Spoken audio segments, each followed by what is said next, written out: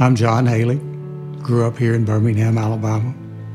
Uh, practiced law with Hare Newell and Newton for the past 35 years, 36 years.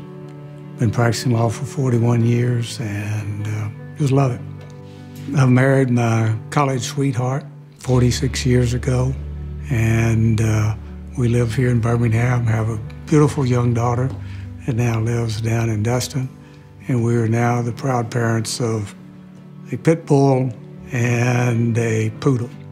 Well, I love I love animals, I love boating, and I like to be outdoors, uh, like kayaking, uh, sailing.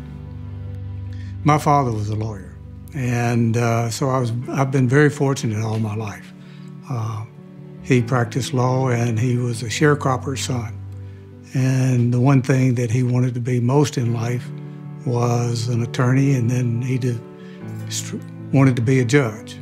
And so he instilled in me the value that uh, he thought that was absolutely the best profession that anybody could have and the best job was being a lawyer. And so I was very fortunate to have him as a dad. And uh, I never wanted to do anything else except practice law.